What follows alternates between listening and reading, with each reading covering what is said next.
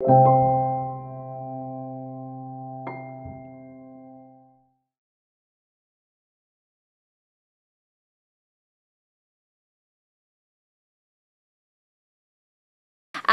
so I'm Chiara uh, from King's College, and I am the network, one of the network organizers of the Network E, so Political Economy of Industrial Relations and Welfare.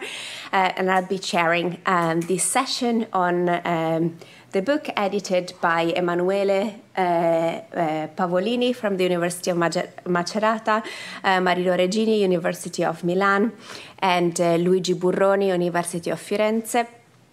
And uh, the, the session will uh, start with uh, Luigi introducing the book, and then we'll have. We should have had three critics, but I guess we have only two today. Um, so uh, the, the, uh, we have Philip Rathgeb here. Um, he's, uh, Philip is a lecturer in uh, social policy at the University of Edinburgh. He was previously as a postdoctoral researcher in Constance, and he has published in top political economy and, um, and industrial relations journals. And he also has uh, published a book with Cornell University Press that actually, actually presented also in this network at the SASE conference in New York, if you were there, and um, and uh, and also has currently a book under contract with OUP. Uh, then we have uh, Paulo Marques, in uh, he's assistant professor at the Department of Political Economy at ISCTE. If you were at the CS a week ago, uh, this is where Paulo works and has his office. Um, uh, he. Um, I published also in, a, in top political economy journals like Socioeconomic Review, Comparative European Politics, and also in industrial relations journals. And uh, he's currently the PI of a big project on labor market uh, dualization, which is called uh, Solid Jobs, together with Rui and, and Luis there. All right, so I think um, so. The introduction of the book first, then uh, we'll uh, let the discussant uh, give their comments. We'll give the chance uh, uh, to the authors to respond very briefly, and then we'll open uh, the floor to your comments and, and questions. Okay, Luigi, I think I'm, I'm done. so you can go, and if you don't, don't hear us or don't hear the questions, I will repeat them in the mic here. Yeah. Okay, thank you. No, no, um, now I'm able to hear you very quite well. So thank you, Chiara. Thank you very much for this possibility to discuss the volume in this research network, and also thank you very much to the two discussants, Philip and Paul, for their for their participation and very kind and passionate role of discussants. Unfortunately, I was supposed to be at the conference, but it was not possible because yesterday my flight, yesterday evening my flight was cancelled, so I have to do this at distance. But anyway, we are very happy, me, Marino, and Emmanuele, we are very happy to discuss with you this book. That is a very um, collective work.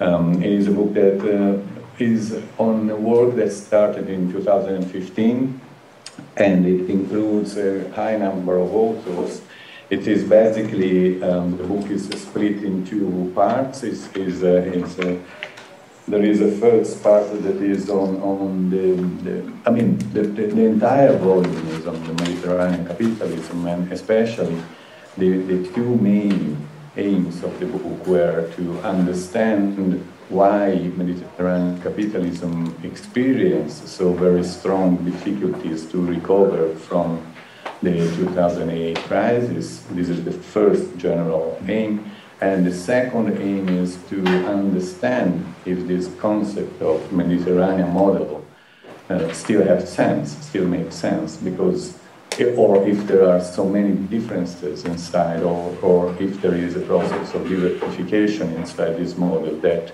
um, in, in a certain sense, reduce the importance of this sort of identity. So we decided to face with these issues and especially with the, the, the difficulties of these countries to recover from the crisis, looking at two, basically at two main dimensions. The first one was the more general contextual dimensions in which we focused the attention on, on the literature of varieties of capitalism that, as you know, define this model as a mixed model between the liberal market economies and coordinated market economies. And we focus especially on more recent evolution and changes of the literature. So the first part of the book, in the first part of the book, we, we had some, we have four chapters. The first one is a chapter wrote by Lucio Baccaro that is on the more recent literature on growth models and how it integrates the functioning and the regulation of the demand side of the economy into theory, theories primarily oriented in, in to, to, to, to the supply side. Then there is a, a chapter by Giliberto Capano and Andrea Lippi that student that analyzes the, the new role of the state in the economies and especially how uh, the particular institutional capacity and public capacity of the state in these four countries. Because the, the, the book defined Mediterranean capitalism looked at mainly at four countries that are Spain, Italy, Greece, and Portugal. And all the chapters focuses on these four countries. And in this case, the, the chapter of uh, Lippi and Capano focuses on the public um, capacity of the state to make efficient and eh, efficient and well-targeted policies to, for development in the four countries. So it's a, it's a on the role of the state and on the role of public administration and on the role of the efficiency of public administration. Then there is a chapter by Sofia Perez that is titled Which Level of Analysis, Internal versus External Explanation of Eurozone Divergence. In this case, the analysis is on the interaction between Eurozone regulation and national institutional settings and on how this interaction can explain the difficulties of, of these four countries. And finally, the, the last chapter of this uh, first part is by Emmanuele Pavolini and Gemma Scalise that is on the role played by social cultural factors such as social values and the functioning of, of, of uh, core social networks starting from the families in explaining economic growth and innovation. So in the first part of the book, is, there is this more broad approach to our problem that is, uh, as I said before, why uh, southern European countries experience so many difficulties in recovering from the crisis. And the second part of the book is more on the role of public policies and on the role of endogenous variable. And especially there is a book that there are four chapters. Uh, the first one is on labor market regulation and deregulation and wage setting institutions in Mediterranean capitalism. This is written by Alexander Afonso, Lisa Dorigatti, Oscar Molina, and Arianna Tassinari. And in this case, we look at the interplay between industrial relations institutions, the role of the state, and, and, and, and, and other mechanisms of labor regulation in explaining this, the, the specific kind of regulation of employment and of wage setting in the four countries. Then there is another chapter uh, by Anne Guillen, Matteo Jessoula, Manos Matsaganis, Rui Branco, and Emmanuele Pavolini on the role of the welfare state, on the welfare system in the, in the four countries. A another chapter by Fabio Bulfone and Manuela Moschella on the role of the banking system and financial system in the four countries. And finally, um, a, a, chapter by me, by Marino Regini and Sabrina Colombo on the role of human uh, capital and on the role of um, and on the role of innovation policies uh, in explaining the difficulties of these of the uh, of these countries. What what emerged looking at these two to to to let's say institutional arena, external and internal, exogenous and, and endogenous, is that there is a specific institutional settings that is quite common, not really the same, but quite common in the four countries that hinder um, economic growth, favoring the emerging of a, what we have called a, a medium um, a, a medium way to grow. So that is distinct, that is very different from the high road for development of Central and Northern European countries based on innovation and high quality production and based on, on, on high quality, part of high quality employment, and also different from, for example, Central and Eastern European countries that are experiencing the low road to recovery. This middle this middle way is, according to us, a sort of a trap that hinders the competitiveness of these countries because we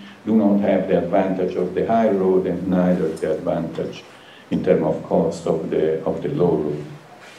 And here there is the second aim of the book that it's trying to explain if the, the, the, the concept of uh, Mediterranean model still makes sense and in this part, we emphasize that also the previous literature emphasized that there are many differences inside this model, but what, what seemed, what, what emerged from some chapters is that there is a process of diversification inside this model, especially for some of the, of the variables that we took into account, and especially from the social cultural point of view and also from, for example, policies for innovation and policies for education, that is this process of diversification is showing that there is a sort of two clusters inside the, the Mediterranean model. On the one hand, Italy and Greece, and on the other, Portugal and Spain. And there is this process of process of progressive diversification that has started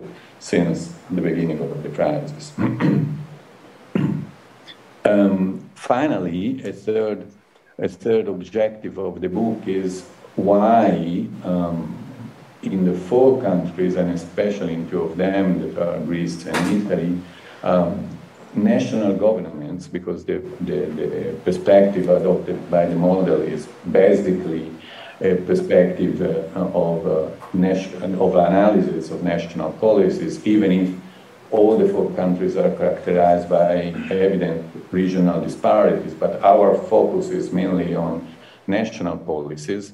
And uh, the, the third objective, the third aims that I mentioned before is trying to make some hypotheses on why these four countries made, let's say, wrong policies for such a long period of time. For example, if you look at innovation, try to explain why in the four countries we decided to not invest strongly in research and development in countries in which there was a structure basically um, mainly based on small to medium enterprises that required, had a strong need of public intervention in supporting economic growth through, um, through the support to research and development. So what we tried to explain was why, despite these needs, that were very important in order to favor a process of upgrading of Mediterranean capitalism.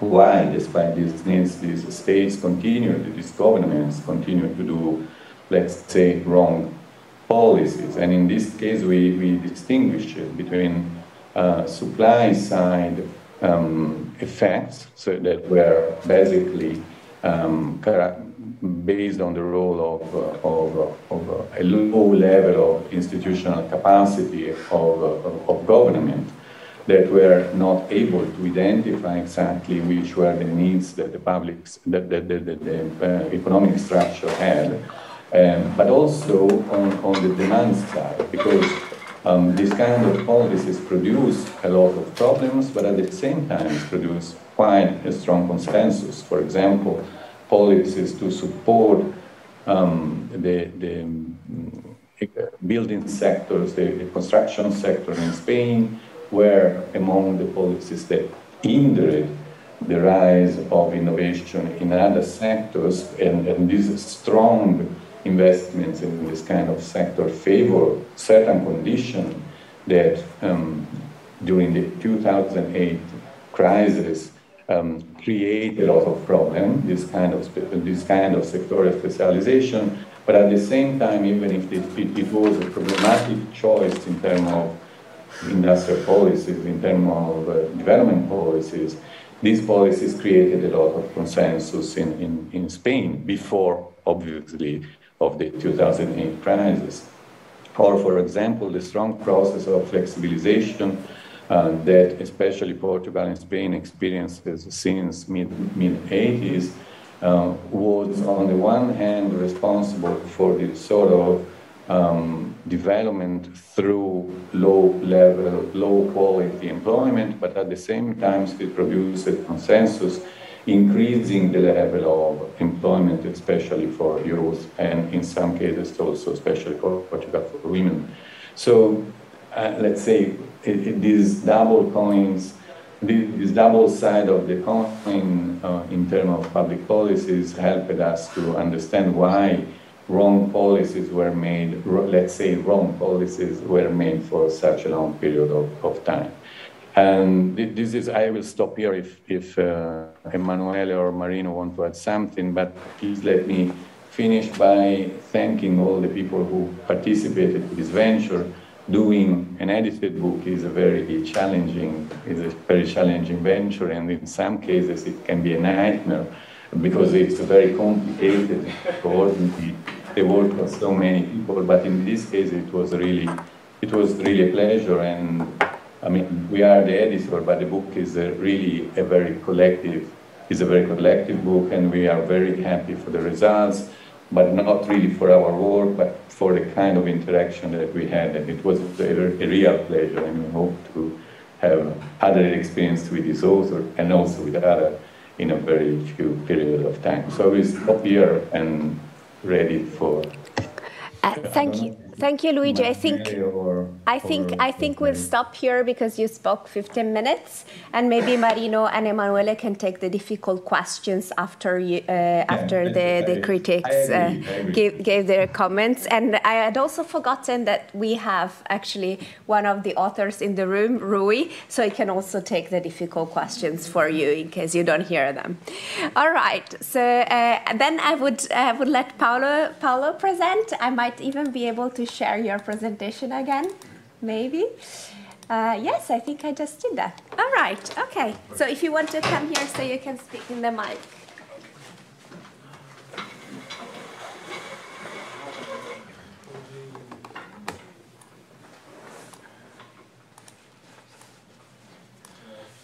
Okay, so I suppose I have about 10 minutes, so I will try to uh, respect the time limit. Um, First of all, thank you very much for inviting me to make these brief comments on, on the book. Um, it's a pleasure. Uh, I will touch upon two main points, uh, what I think are the main strengths, and I will focus more on further developments, things that perhaps, I don't know, but can be useful for uh, going even uh, um, deeper on this uh, topic.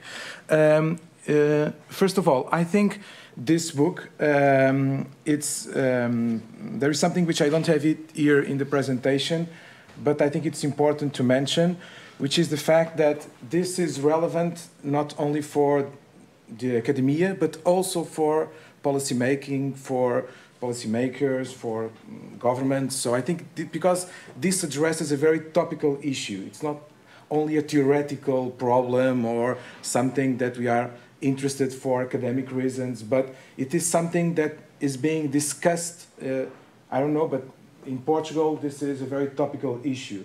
Uh, how we can manage to find a better balance in terms of uh, having um, greater levels of economic growth, but at the same time sustainable in terms of the public finance. So this is relevant in that regard. I think that's very important.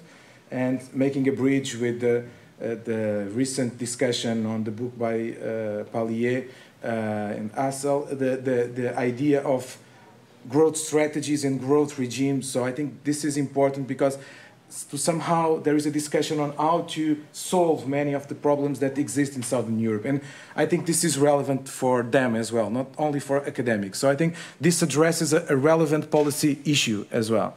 Um, and I think um, it shows very well um, the fact that there are problems in, in Southern Europe in terms of trying to find a better um, growth uh, model, if, if we want. Uh, there are different trajectories, and I think this is important. I think it makes sense to speak about the Mediterranean capitalism, but there are internal differences, as in all uh, models. It's a simplification, but I think it, it makes sense, and I think the book shows that very well. And it pinpoints different alternatives, and I think this is very important as well. Uh, somehow, um, it shows that there is the, the kind of strategy that exists in Central European countries, like uh, moving on to reduce wages, try to reduce uh, taxes, uh, attract foreign direct investment and try to follow that path, or the alternative more based on um, high skilled human capital, innovation, and high social cohesion, which is more realistic than try to follow like the German model with with a lot of uh, difficulties on implementing this in, in, in, peripheral economies. So I think it shows very well that there are two alternatives and um, both of them difficult to implement, but it, it's perhaps the more uh, realistic. Uh, there are differences, of course, between the chapters. This hypothesis of more high-skilled human capital, etc., it's not present in all in all the chapters. Uh, but uh, this is, I think, the two if we can imagine the two alternatives that uh, can be implemented. Um, and I think something which is very important is, is the last point that I have in the PowerPoint, which is politically, it's very difficult to implement in Southern Europe the, the, the first um, uh, hypothetical uh, way to, to grow. And I think this is very important because we saw that during the uh, austerity period and the consequences in terms of the political system.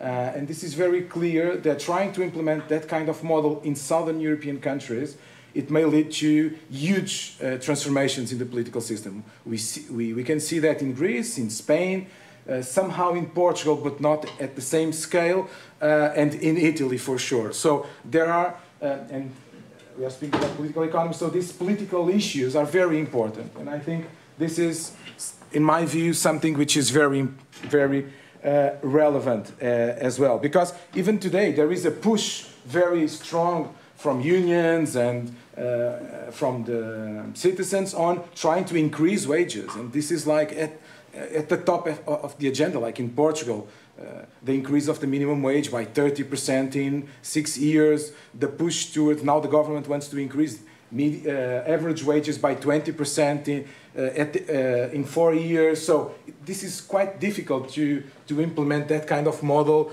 I think uh, also for political reasons.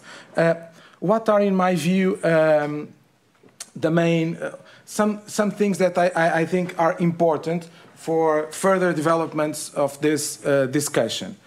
I think there is perhaps an excessive uh, emphasis on the fact that over the recent par, uh, past, southern European countries did not invest in education, skills, research and development, and innovation policies. Uh, I think there are differences between uh, countries, but for instance, the, the, Portuguese case, and also the Greek one, but uh, I, I, know better the Portuguese case, there was an, a, a, huge investment in, in, in, in these fields. Um, because Portugal was very much committed with all the Lisbon agenda, in which the Portuguese government was very involved since the early 2000s. Um, the, the central left, which was the government that went ahead with, uh, it was the, during the Portuguese presidency of the European Union, they have been in power for 22 years, in 27, in the, in the last 27 years. So there was some kind of continuations of policies throughout this period. Um, they were very committed in 2007 with the flexicurity agenda and now in Porto with the uh, social cohesion agenda. And so I think that perhaps it's excessive.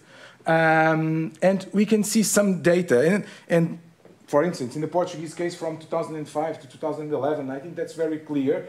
Then after the sovereign debt crisis, it was a very specific period with a lot of external uh, constraints. But if we look at some data, like the share of the population with tertiary education. Um, for instance, uh, like coming from like the Portuguese case from 10% of young people with higher education degree to 42% uh, in 2021. It's impressive. I think it's impressive.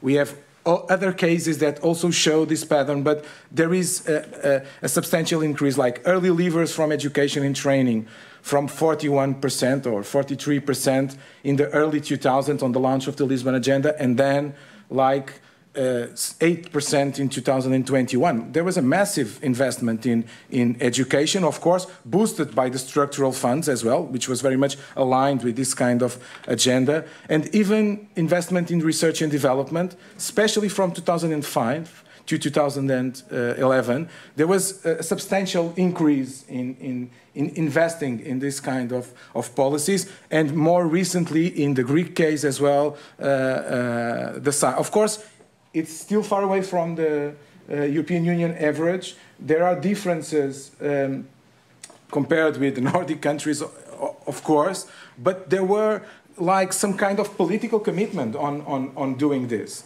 And from my, uh, and even the PISA results, like the quality of uh, training that young people have in uh, sec uh, secondary education, for instance, there, there was a massive drop on early leaving, from education and a substantial increase, especially in mathematics and I think in science, in terms of the results in the PISA tests. Okay, they have the limitations, but they show something, okay, in terms of there was a substantial increase. Portugal, for instance, increased a lot. Sorry, it's in Portuguese, it was a colleague. We had a presentation and I used the, the, the graph.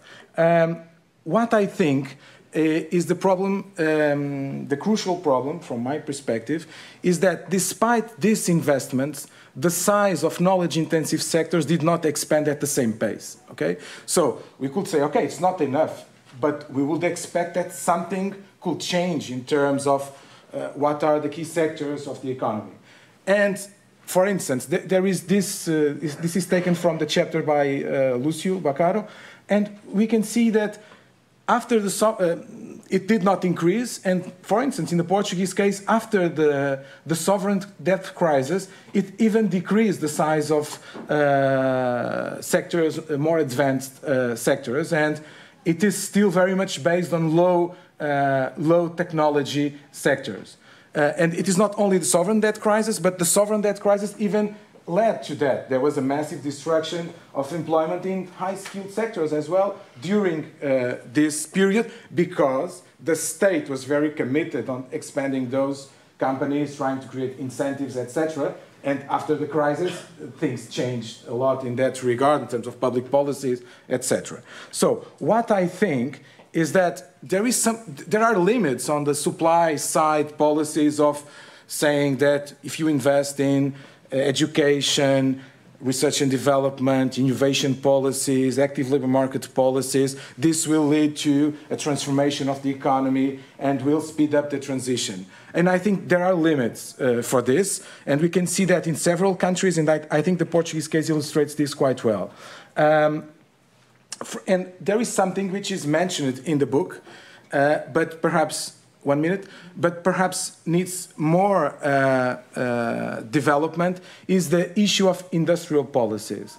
Um, I'm not a specialist on, on the topic, but there are some colleagues at my department that uh, discuss this uh, a lot from development studies and, and so on and so forth. But I think this needs more elaboration uh, because um, perhaps it's the piece that is missing, okay, besides these supply side um, policies.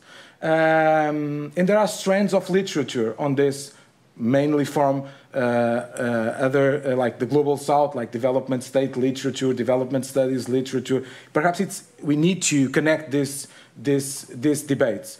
Uh, and this, um, this kind of agenda of modernizing the economy requires a strong state, perhaps, um, and I don't know if this is compatible with EU competition policies and the kind of more pro-liberalization in the economic field, in which it's very difficult for the state to, to help firms, to establish new firms, uh, large and medium firms, and perhaps this goes against that kind of uh, restrictions. And in my view, EU liberalization policies are more compatible with an agenda which is only focused on supply side policies. And perhaps it's necessary to change that as well in order to uh, boost, boost this kind of uh, transition. And finally, just a very brief point. I think in some chapters there, there is still some kind of idea that in southern European countries insiders remain completely protected and outsiders are very vulnerable. And I think what we have uh, seen in the recent past is a deterioration of the labor market position of the two groups for many reasons, like privatizations, career freezes in public administration, wage stagnation in the public administration, deregulation of permanent contract. So I think it's, uh, things have changed a lot in, in, in, that regard, and I think that's important to, to bring that to, to, to this discussion as well. I think it's, thank you. Thank you so much, Paulo, for, for the comments. I would go straight to Philip then, who doesn't have slides, but he is, is welcome to come here anyways, and then I will let the authors respond. So hello everyone, thank you for the opportunity to um, contribute to this debate. So I'll be very old-fashioned, just with handwritten notes. Um, I, I'm not a Southern Europeanist person. Should I look in this? No, you see me anyway, right? Yeah, you do. Okay. I'm not a Southern Europeanist per se. I will approach the issue more from a comparative perspective, even though I have little things to say about Italy, and I try to um, contextualize the Southern European case um, from the perspective of comparative political economy and reflect on the basic argument of this book. So I, I like this book for, for three reasons in particular. So the first one is how it approaches Southern European capitalism to begin with. So if you revisit the varieties of capitalism literature, there is a bit of an uneasy relationship to that region in the sense that, you know, it's not CME, it's not LME, it's, it's MME, but it's not really, I didn't find it a very appealing, um, interesting debate, that kind of categorizing efforts. And the book instead is very historical and concrete, and thereby it opens up the analytic space in order to identify diversity in the sense that there is a bit of a divide between Spain and um, Portugal on the one hand doing relatively better and um, Italy and Greece on the other hand by looking concretely at these institutions and how they underpin different um, trajectories of economic performance. So I, I, I like that. The second thing I like is the explanatory setup. So um, edit volumes, they are typically like loosely connected in the sense that I mean, the chapters speak to each other, but not necessarily so much. And in this case, it's very coherent volume. So there is two clear questions: How have they evolved over time, and um, what explains why? Um, in comparative terms, their economies haven't fared so well, and what to some extent also explains the kind of intra-regime variation. And in this way, the book it talks about three factors or three explanations in particular. One is the supply side story. Um, that what is lacking is internal devaluation, hasn't gone too far. A bit of the straw man, but it's politically a very powerful explanation. That's why it's good that it's um, addressed in the book. Um, second, the Eurozone, in the sense that the Eurozone constraint um, is too pervasive for these countries to generate the necessary policy-making autonomy to carve out industrial policies and economic policies. And the final factor, and that's the most important factor in the book, is research and development. And thereby it points to policy and administrative capacity, and as such, it's um, a, a, good contribution. And the, the third thing I like about the book, it's, it's deeply political. Um, so um, Paulo already alluded to that in the sense that um, I, I, when I was reading it, I, I, was mainly thinking about the viability of the Eurozone. I think it's, it's um, uh, not far-fetched to say that the viability of the Eurozone hinges to a large, ex large extent on the economic um, economic fortunes of Italy. So by reading this book, so you don't have to be a Southern Europeanist per se, but if you care about CPE, European political economy, and European integration, um, that's certainly a, a, a must read. So um, these are the, the three things I liked in particular. So with regard to the argument, um, which is to say that the reason why these countries haven't done so well in economic terms is the lack of research and development and human capital formation. So my, my first question, let's assume I, buy the argument. I think it's, um, it's very plausible that this is something that is missing in these countries. But my question was how to get there. So if you come up with a, a solution, so to speak, the question is, um, is that politically viable? Do you have the political support coalitions? Do you have the um, administrative and state capacity to actually do that? And after reading this book, I was, on the one hand, I, I found it, the explanation appealing. At the same time, I found, uh, I felt like um, this is not going to happen. because you, because the economic structure of, I mean, at least especially in Italy, with small, um, small-sized uh, employers, typically invested in, in, in, in, tourism, recreational services with low levels of innovation, low levels of human capital formation. And as such, the, the political coalition is, I couldn't really see how that may translate into a viable policy agenda based on you could call it a, a, dominant social bloc that would push for this, this kind of agenda. So in other words, I mean, I was reminded by um, there is this, this interview by, by Mario Monti um, in 2011 in the German newspaper Die Welt. And the headline of, of the, the newspaper article is why Italy should become more like Germany. And then Mario Monti goes on to say, yes, we have to become like Germany. They did the Agenda 2010. In this way, you reinvigorated cost competitiveness. And I mean, as a comparative, you, you feel like um, Monti, he's the, the real utopian, right? So, I mean, Italy doesn't have the institutional legacies, it doesn't have the political coalitions to do that, it cannot work, right? And it's, it's a similar narrative you see in, in France, essentially, by saying, you know, they did that, it worked, and th this is why um, it would work in, in our case as well. And you, you, you address that and say it can't work. But my, my question was then, how is the research and development? So in a way, it's like we don't want the bad things from Germany, right, which is liberalization, but we want the nice things, which is research, development, human capital formation. But I wonder to what extent this is politically more viable um, than, than other strategies. My, my second point is on, um, on the uh, electoral politics of this. So in the, the, the there's no, not a chapter that deals with this kind of electoral politics in particular, but the conclusion talks about, um, uh, especially about the Beramendi et al. saying that, well, I wasn't actually really sure whether you consider that a, a, rival explanation or a complementary explanation. Because on the one hand, you say, okay, it's a bit of a quiet politics area, research and development, and that's why this kind of noisy politics that characterizes electoral politics is not really um, is not really the right focus to understand why research and development is, um, hasn't been pursued so much.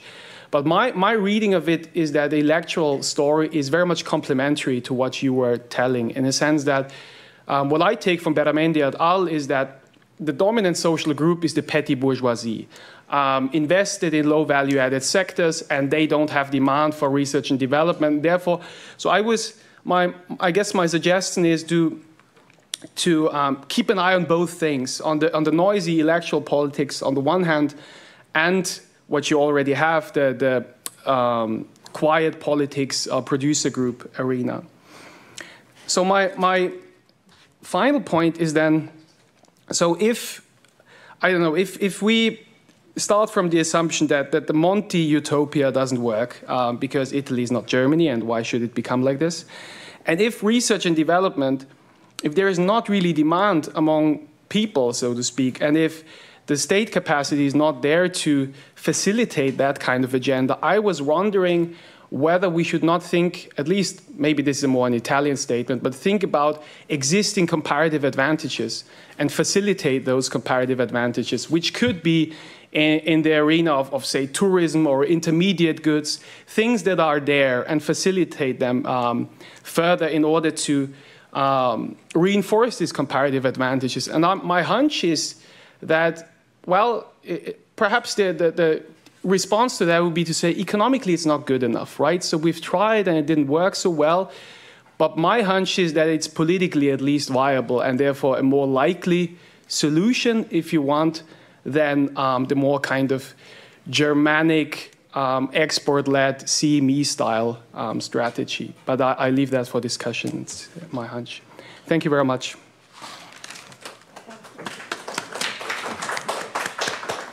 All right, thank you to Philip and Paolo. So I would say that uh, you have uh, a few minutes each if you want to respond. Um, I wouldn't keep longer than 10 minutes overall, so, um, and hopefully you have the same responses to, to, the, to the comments so you don't have to repeat yourself. Um, uh, so uh, who wants to start or maybe just one? I don't know how you organize that. Luigi or Marino or Emmanuele, who wants to respond?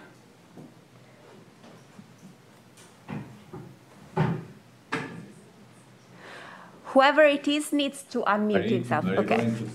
To, to start, or are you trying to? Yeah, we can we can hear you. Awesome. Yeah. Uh, Marino is starting. I can start. Awesome. Uh, extremely. Also because I may have to leave the. Uh, the conference uh, before uh, the end, so uh, I, I, will start. Um, thanks a lot to well to the organization and thanks a lot to, to the two discussants. they were really very very sharp comments and uh, my I could uh, uh, stop my answer in two minutes just by saying that I almost totally agree with what they were saying. uh, no, really, it's not. Uh, uh, okay, let's start with Paulo Marques. Um, the uh, we have uh, put uh, too much emphasis on the. there's been an excessive emphasis uh, in low investment in education, uh, research and development, innovation policies, and so on. Uh, whereas, uh, and more more generally, uh, in um, uh, supply side policies, incidentally, we always thought of uh, uh, supply side policies as the, uh, the welfare policies, the labor market policies, the traditional ones of the European social model uh, whereas uh, uh, for innovation policies, we tend not to think of them as as supply side politics. But that's just a question of, of definition. Um, certainly, we have put uh, very much emphasis on that. I think for two main reasons.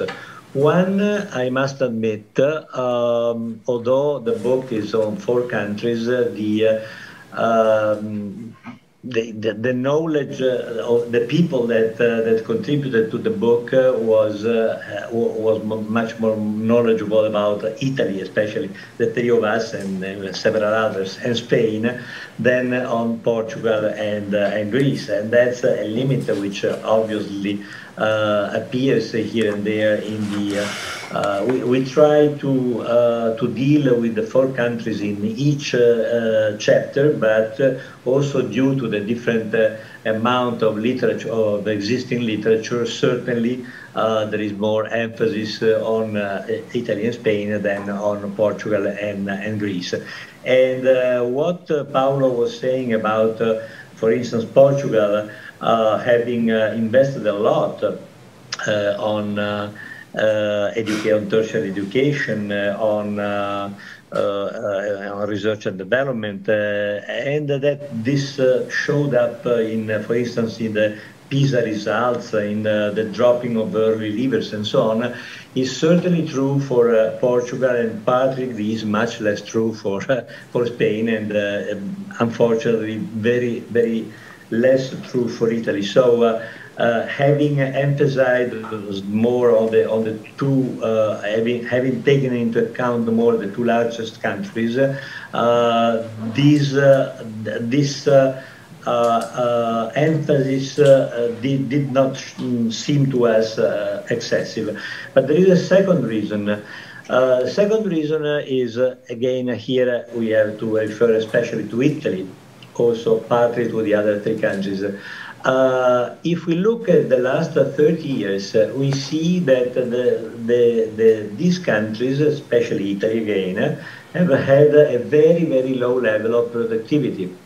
And uh, the very, very low level of productivity uh, we cannot explain uh, other than by having uh, a relatively uh, low-skilled uh, percentage of labor force, a relatively uh, a, a, a, segment of the of the economy which is uh, not uh, very highly technology intensive and so on, and that is, I mean, it's undoubtedly true. Um, what it is so true that uh, the, the, the recent uh, next EU generation, uh, which uh, in Italy translated into the P, uh, Piano Nazionale di, uh, di, Resilienza e Ripresa, Ripresa e Resilienza, put an emphasis on it.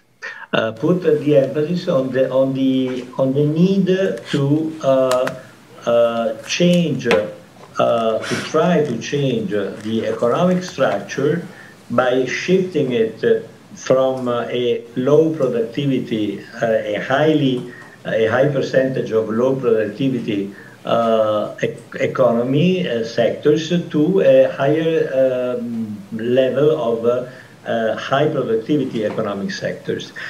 Um, however, Paulo says that despite investments, uh, the in Portugal, the size of knowledge-intensive sectors did not expand, and this shows that uh, it's not enough to uh, uh, work only on the supply side, that, but, but that you need, on the demand side, so to speak, you need an industrial policy uh, and uh, and uh, mm, the lack of, of an industrial policy with a strong state intervention uh, it, it is what would be needed, but uh, it goes against uh, the European Union competition policy. So, okay, I absolutely agree with this. I think that this is an extremely good point. Although I'm not so sure that European Union competition policies cannot be, in a sense, circumvented. Uh, the French, uh, the French uh, do that a lot of time. I mean, the French do have an industrial policy and a strong state intervention. We have seen uh, even now the uh, acquisition of uh, EDF by the French state, a, a, strong state intervention, and the, EU, the European Union competition policies can be uh, only a partial uh, uh, shield against it. Um, Marino, you have only a couple of minutes so yeah, left, okay. no, no, either okay. for you or for anyone else among the authors. You decide. I okay. uh, well, the second uh, uh, the comment was absolutely interesting as well. Uh, the two questions uh, is a solution uh, with more research and development uh, uh, politically viable? Well, I, I think that what from the time from the time of Monti that he was referring to to now, there has been the the the EU Next Generation plan has put an emphasis or has led Italian actors to put an emphasis on improving productivity. And in order to improve productivity, you need a shift towards uh, higher research and development, uh, uh, better human capital, and so on. And electoral politics, certainly electoral politics, uh, uh, sh we should uh, give more emphasis on that. so looking more at the demand side, not only on the supply side, and looking more at the electoral policies are two suggestions that I think are extremely important. Thanks a lot for the, uh, for the comments. Thank you, uh, Marino. and Emmanuele, okay, you, you, uh, you're welcome to jump in. I'm determined to leave at least half an hour for discussion, so uh, literally like uh, two minutes, and then uh, we'll we'll open to the floor. The floor. Thanks, thanks everybody. Apologies again for not being there. I would have loved it. Um, I can't. I mean, I will add just a couple of points, uh, and I thank again uh, two discussants. I agree with most of their points. I just pick on two of them or three of them. Um, one is, as it was stressed uh, in the first, uh, by the first uh, uh, review of our, of our book, um, we see an increasingly increasingly a, di a, difference between the Iberian countries and Greece and Italy on the other side. So some of the data showed us show a common trend for Southern Europe, but at the same time, for instance, the OECD PISA results for Portugal has gone quite better than what you would have found in Greece and Italy, for instance. So still what I meant is an increasing diversification in the future uh, among the four countries with this two and two plus two. Uh, industrial policy, absolutely. And during while we were writing the book, at the end of the book, my clear idea shared by Marina and Luigi is that we need to study a lot more and get into the picture industrial policies. Uh, I totally agree with you. Uh, the problem with industrial policies at the same time is that you know if they've been successful only after several years. There is a whole huge literature, especially by economists on there, saying it's kind of hard to get the right industrial policy when especially you want to boost innovation.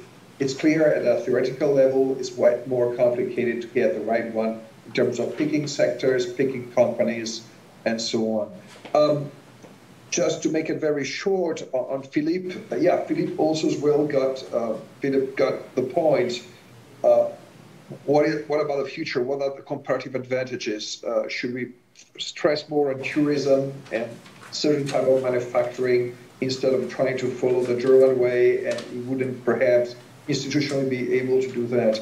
Um, I agree that that is the core question. At the same time, though, at least for Italy and partially Spain, what I think we need to understand is they missed the knowledge economy turn in the last 15 years. If you look at Italian and partially Spanish economic structure in the middle of the 90s, it was still quite competitive and closer to what we had in continental Europe.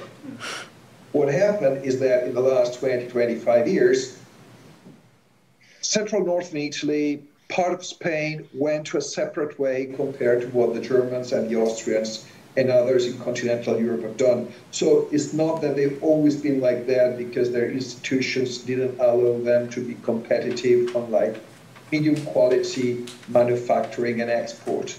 Uh, they started to perform in this respect quite worse than what they used to do. So whereas other countries try to move forward to the high road uh, through different ways, so of course the Scandinavians are not the same as the Germans or the Austrians or, or other countries, what really seems to have happened is that in the last 20 years, uh, Southern Europe was not able to upgrade its strategy that had worked previously, again, at least for Italy and partially Spain. So it's, it's a lot more contingent in a way what happened in the last 20 years, and that's why I think there is still kind of also room uh, for, for changes. As, as Luigi was saying at the beginning, a lot of mistakes or not correct decisions uh, have been taken in the last 20 years, which sent to a separate way part of Southern Europe compared to where it used to be previously in the 90s and the 80s. I hope I've been short enough. That was awesome, Emmanuele. I really appreciate that you uh, that you managed to be here despite everything. Um, all right, uh, so I would say uh, that maybe we open the floor to uh, discussion and. Um, maybe the best way to do it would be that you come here and you ask your questions so that we don't have to turn the camera all the time. We try to have a discussion. Um, but if you are uncomfortable with that, you can also tell me the question and I will, I will, um, I will repeat it in the mic. Um, so, okay, and also if you introduce yourself as well so that we get to know each other. Okay, I have already three questions, uh, so get ready. Uh, I think we'll collect a few and then I will let you respond. Hey there. So I'm Nicolas. I'm Brazilian, but I'm doing my PhD in Italy in the Scuola Normale Superiore. And like I have one quick question, and it's related to one thing, like a kind of bias. I didn't read the book, but I, I feel a bias in the whole conversation that all of the models that are being exposed are export-led models. Even when you are talking about um, fiscal policy, it's for industrial policies that are oriented for exporting later. And the problem for me in this is that you, you forget about like the real economics on the ground for people. And I think like at least three other options could be included here. And one would be fiscal policy for health, for example, health services. Like this, like it's a demand input, and then like it improves life uh, immediately. Or residential credit that would boost domestic economies. And the, the third one, which for me is the most important one, is like where is wage-led growth?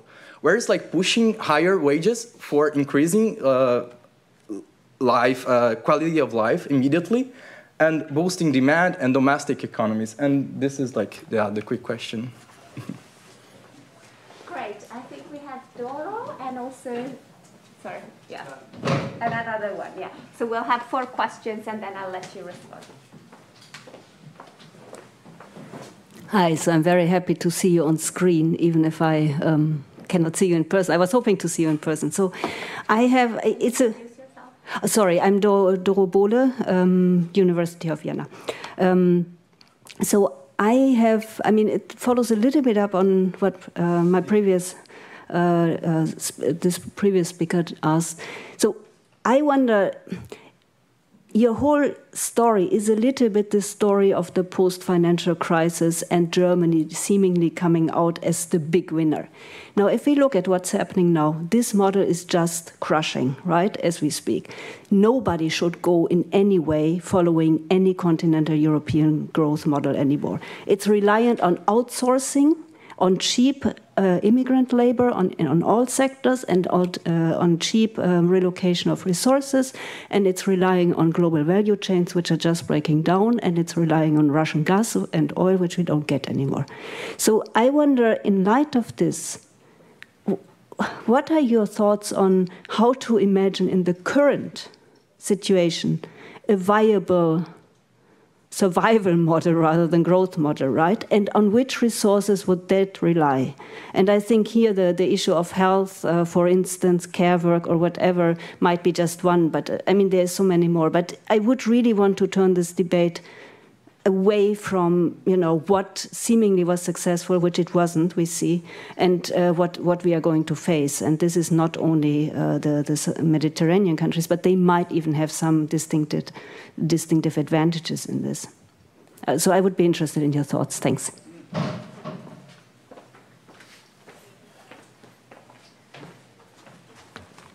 Okay, thank you so much. My name is Dario Guarascio, Sapienza University of Rome. Hi, Emmanuele and thanks to the authors for this interesting presentation. What I would say links a little bit to what has been just said. I would think that something that could be beneficial is introducing elements related to structural interdependencies and hierarchies within the European productive structures, because this helps us to frame the uh, crisis of Southern Europe also as a story of core periphery divergence and of interdependencies.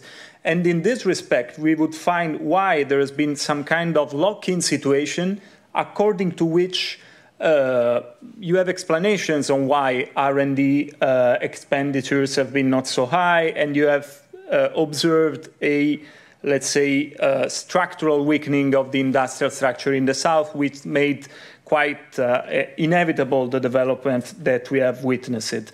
But now I really uh, agree on what has been just said, that if we have been uh, drawn here by a growth model which was mostly the German export-led growth model, now this is basically uh, no longer working in the current context. And so industrial policies and ways to reimaging the development of southern European countries uh, is uh, uh, truly an issue uh, that, for example, in the, and, and across the, the uh, Next Generation EU in Southern Europe as the National Recovery and Resilience Plan is still not up to the task. I mean, if you look at how industrial policy or non-industrial policies are declined within those plans. So we should hope for some kind of really new issues in policies in this respect.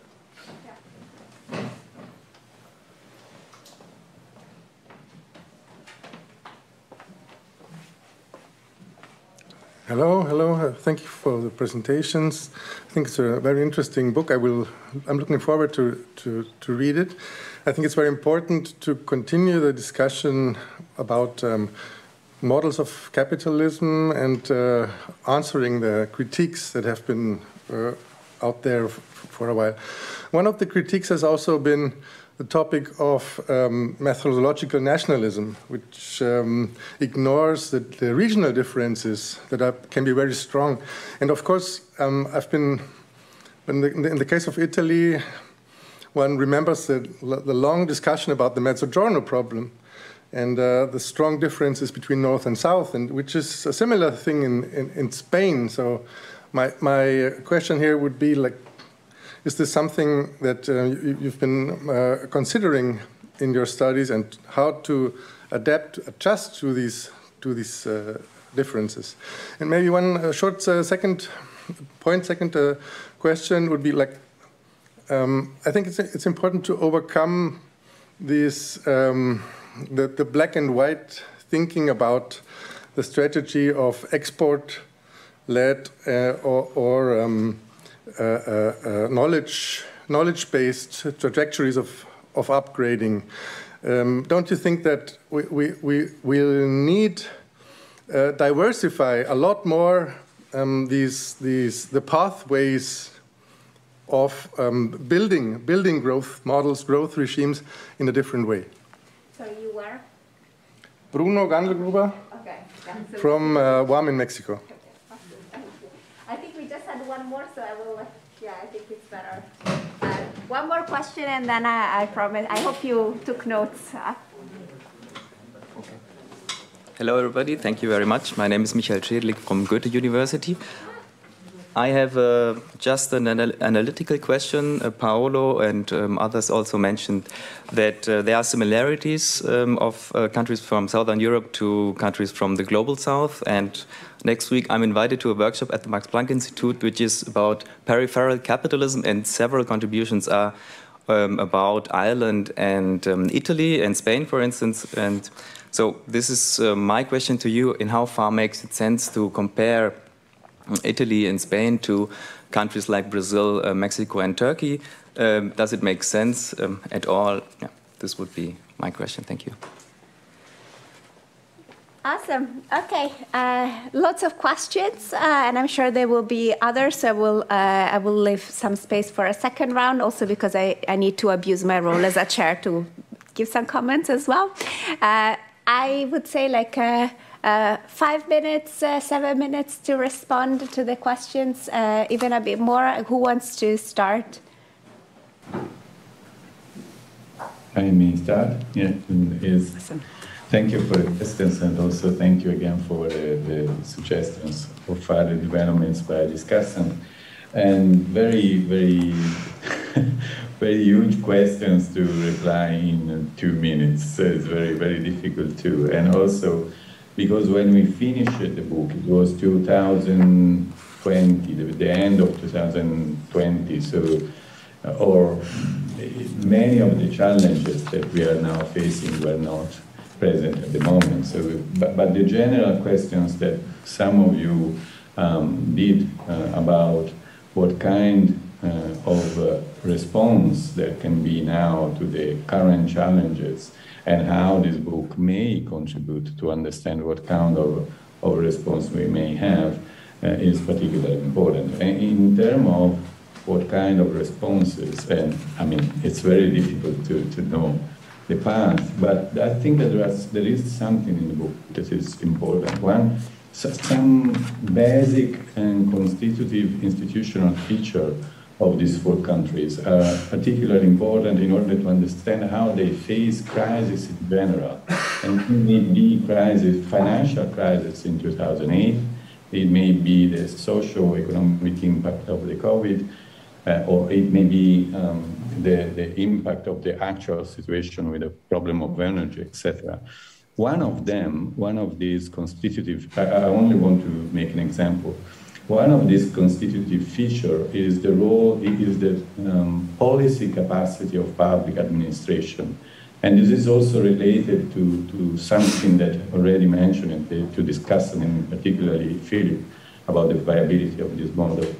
I think that it is not simply a matter on how we invest in certain direction or what kind of policies in terms of the amount of funds that you are dedicating to them for education or for other response, uh, but also in, in terms of quality of public intervention. And this is particularly true in all the crises we are facing as Southern European countries. So it is true for the facing the financial crisis. I think it's true also for facing the the uh, pandemic socioeconomic crisis, and it is also true now.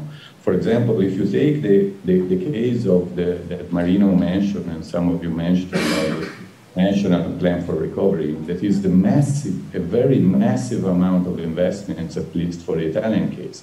The problem is, I think, is not simply how much we spend in certain direction, but also on the public capacity to implement in a very effective way this huge amount of money we are going to spend in many different institutional arena. And this is true for all the policies that we are um, trying to do. So, in, so this is true for the case of the reaction to the 2008 crisis, financial crisis, but it is also true now for the case of trying to uh, face with the energy problem.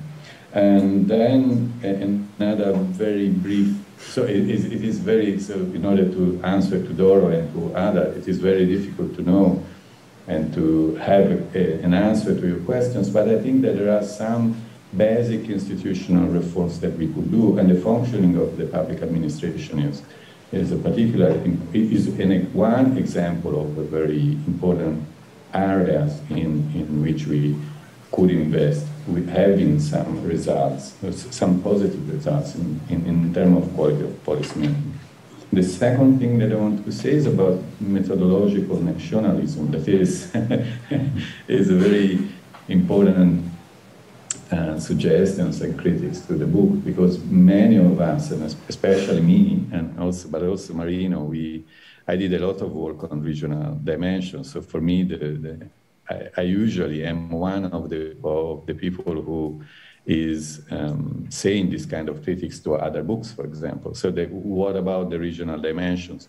What, what is interesting is that many of the weaknesses that we are emphasizing at the national level are in a certain sense replicated at local level. So if you try to explain the difference, if you take the Italian case from the northern part of Italy that is functioning quite well, also in this difficult situation, and the southern part of Italy that is working quite badly, um, not only in this specific situation, you see that specific kind of policies play a very important role. And again, policies for research and development, policies for education, etc. That is, it is true that in Italy, Portugal, Spain, the amount of money expended in this kind of policies is rising, as Paulo said during his presentation, but in comparative perspectives, the level is very low. But if you take into account the regions in which, in, in the, all these four countries in which you have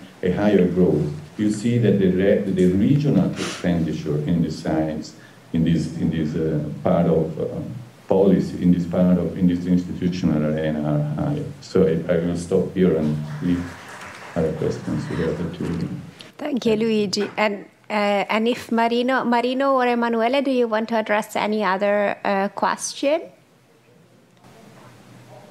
Um, if yeah. Marino doesn't, uh, no, no, no, no, thanks. Okay, just a couple of things. I jump on what Luigi just said.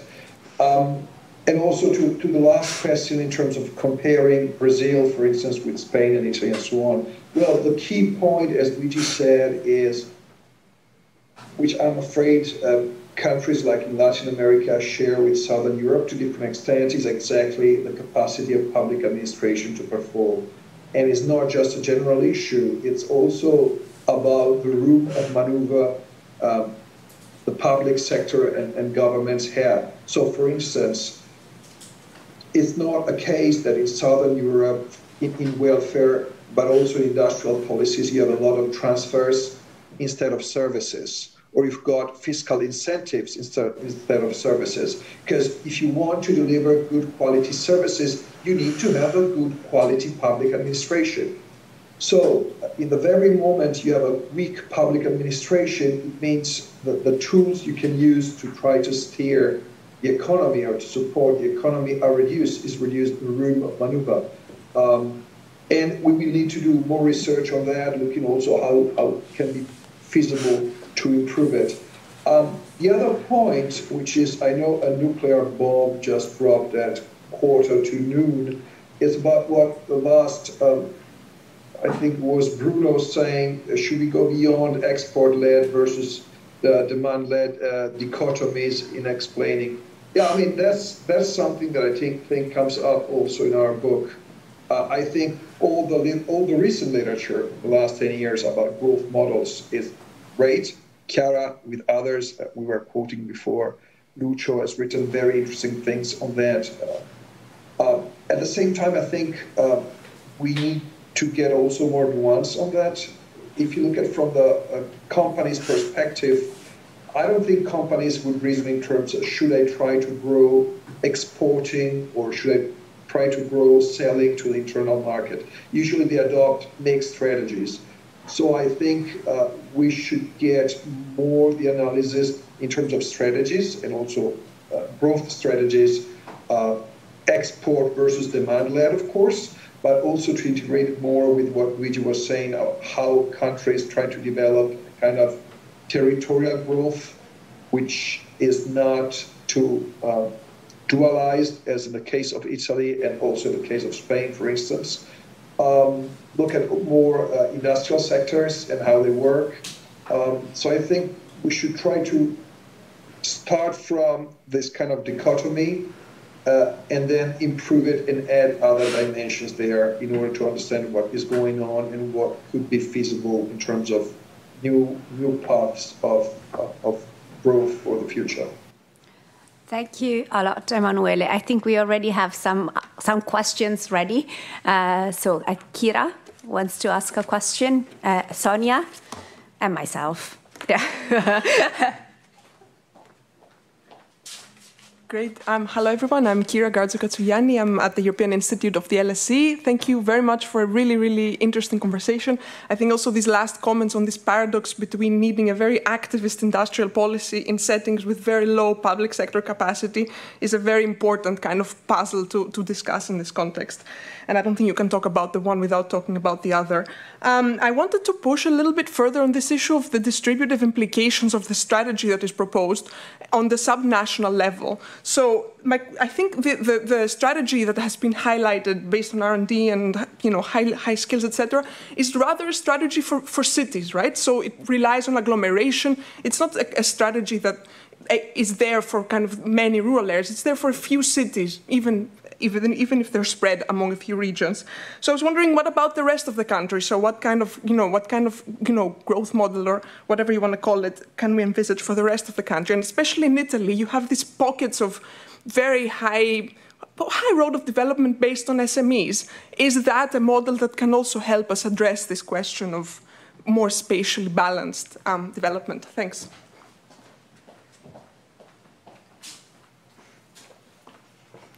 Hi, Sonja Avlijaš, uh, Marie Curie Fellow at University of Belgrade. Uh, I know Luigi, I know Emmanuele. Okay, so hi. Uh, so uh, my question concerns the the idea that growth models are like taking place in advanced democracies.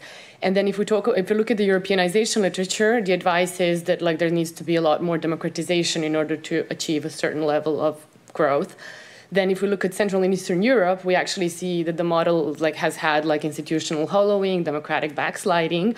And then we hear in the context of the Southern European uh, countries when Paolo said that the reason why the Southern European countries cannot imitate the uh, Central and Eastern Europe is because of the democratic factors and the impossibility from like the social perspective. So I was wondering, how do you, in your book, theorize the dynamics between democracy and these growth models? If there's like a yeah, if there's a if there's that in the book or not, because I have not had a chance yet to read it. Thanks. Right. Um, right. I have uh, a question or a point that relates a little bit to the comment that Nicolaou made uh, right at the beginning and picks on the productivity point made uh, by um, by Marino, and it's about like how we understand industrial policy, or at least what I think uh, you mean by industrial policy, given also the comments of Paolo and Philip. So, uh, I, if I think about uh, if I think about Italy, so I think it, innovation policies are important and human capital is important for manufacturing. So I think actually differently from Philip that it, Italy has a comparative advantage in manufacturing in the industrial district. Actually, high-end manufacturing uh, has actually kept up quite well uh, compared to the other three countries. There's also uh, that moved to low end and uh, and, and uh, medium um, services. Uh, so innovation policies there can actually help increase real productivity. This is how it works in manufacturing, so human capital, technology, etc.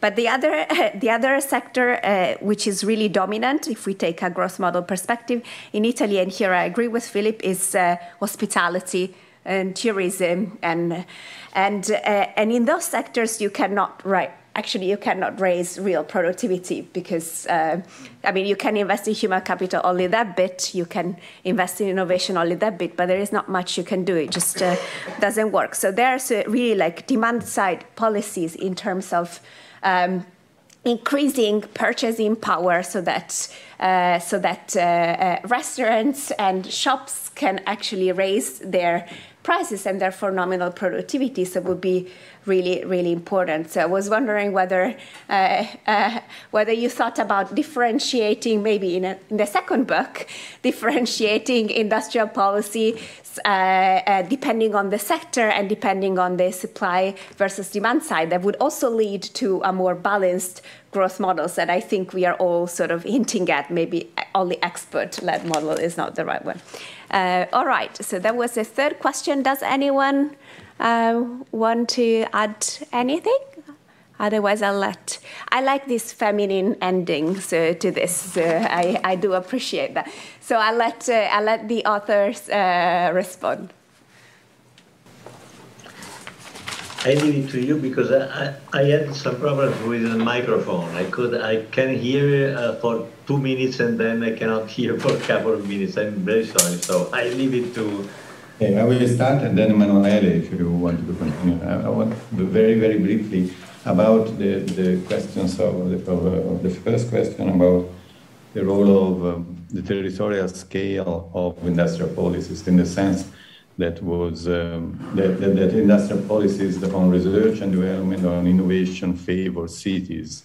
Um, this is only, I mean, I, I, partially agree, only partially because in, may, in some of these countries, especially Spain and also Italy, the kind of uh, um, manufacturing that Chiara mentioned at, the, at the end of this is industrial districts and so on and so forth are not located in cities, are quite dispersed among a high, a high uh, um, between a fabric of small and medium cities. So there is not this process of polarization. In Italy, for example, Fordism was polarized in very large cities, but manufacturing is quite widespread in the territory at the regional level. What is, but I agree with you that, that this kind of policies may have the impact of reinforcing a cleavage between very strong regions and very weak regions, and especially between regions of the north, and for example, taking the Italian case, of the northern part of Italy, especially Lombardy, Piedmont, Veneto, and Emilia-Romagna, many regions of the south. This is because these four regions, and this is a similar process also in the other three the other three Southern Europe countries, um, uh, because these regions has a very uh, higher capacity, absorptive capacity of public policies in the field of innovation. So if you do a lot of innovation, a lot of policies in order to reinforce research and development, probably you may, without making development policies for weak regions, you, you, you have the risk to increase the cleavage, the territorial cleavage at the regional level, not at the level of cities, but at the regional level. And this is a very huge problem naturally in the in Southern European countries. And very briefly about industrial policies, Chiara, you are perfectly right. Um, industrial policies is a very huge, and also I will answer to Paolo at the beginning, is, is a very huge field of politics, very, very huge. And we decided to pick a very small but important part of industrial policies related to innovation, innovation policies. But this is only a small part of industrial policies, and we are perfectly aware of this. And this is this part of industrial policies that are addressed to uh, reinforce the, the, the, the strengths of manufacturing firms. But it is also true that, so I agree with Chiara, I agree with your suggestions to adopt this broader approach to industrial policy policies, also in order to understand what has been done or not for sectors like tourism and so on and so forth. But it is true that it is also true that innovation policies play also um, a very important role in tourism, for example, in, in, in reinforcing the quality of tourism that you are going to, to favor. I'm living in Florence, so I, am very well aware of the impact of tourism. But again, also in this case, you may have a high road and a low road of tourism. And probably the high road is a bit connected with the connection between traditional industrial policies for tourism and more innovative industrial policies for tourism based on, based on innovation, for the valorization, for example, of the, of the cultural environments and so on and so forth. So I, I, agree with you, but at the same time also policies for innovation may play a role in more traditional very traditional sector like tourism in order to improve the quality and the quality of the employment of these, of these uh, sectors. And I stop here, Emmanuel, I go on to. Um, yeah, I just add up and I reframe what Luigi said. I don't have too much to add, uh, but one point. I think as, as a community of scholars doing comparative political economy, we need to understand better, uh, increasingly better in the future, how different countries manage to coordinate different, I mean, different territories, regions, and economic growth models in regions. So how at the central state level, you're able to take Italy, for example, to create some sort of a virtuous model of growth where you put together the industrial north and the, hopefully the demand touristic led uh, growth in the south. So we need to understand better how countries are successful in harmonizing different territorial growth, knowing that this is becoming the main source of economic and social inequality in the 21st century, so less among countries, more within countries. Um, and the other point is exactly how it goes to Chiara's question how can you have a model with industrial policies that at the same time are good for high tech companies um, exporting or whatever, and for tourism. And as Luigi say, probably we need a, a more nuanced analysis also on both sectors and how uh, policy, industrial policies can be applied to it. Uh, but I think we need, at least for Southern Europe, more research on how this works or it doesn't work um, actually in, in current policies. Thank you. Thank you so much uh, to all the authors. And I hope, uh, Marino, you managed to hear some of, uh, of the comments and responses as well. I'm so glad that we managed to organize uh, this uh, nevertheless. And thanks to Roberta, especially for providing the, this Zoom link that works so well through the University of Milano. Um, so thank you all. Thank you especially to the discussant, Paolo and, and Philly for their amazing, amazing job. And I hope to see you around in one of the other sessions of the network. Thanks.